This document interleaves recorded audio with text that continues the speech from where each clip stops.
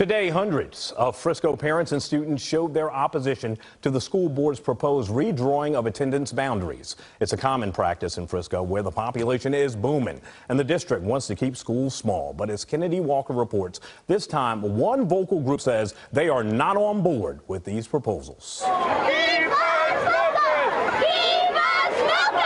Frisco ISD parents and students marched to Reedy High School protesting what they call harmful rezoning changes. We knew that we, or we thought at the time that being in this corner of Frisco, there was no way with all the rezoning that they were ever going to rezone our small little plot of land. So we chose this area specifically for that. Their issue mainly concerns boundary changes of three high schools, Frisco, Reedy, and Wakeland. The changes would force some students to move schools. That would mean increased drive times for some or even leave other pedestrian students without a way to get to campus. The kids have to travel a lot more farther than what they were traveling now.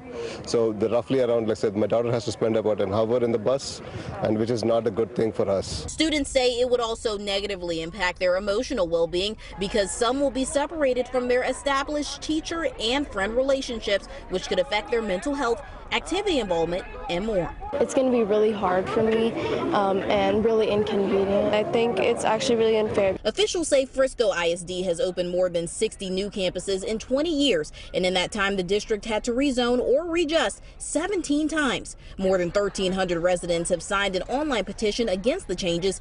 The school board is set to make a decision November 8th.